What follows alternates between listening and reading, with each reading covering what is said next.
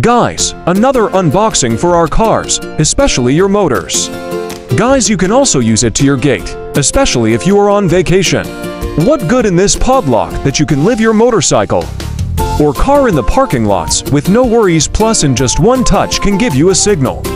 So everyone notice that the vehicles are stolen. Let me show you the podlock I both in Lazada and the freebies. Tree keys and 6 pieces extra batteries good for 1 years. This is how it's worth for activating the alarm.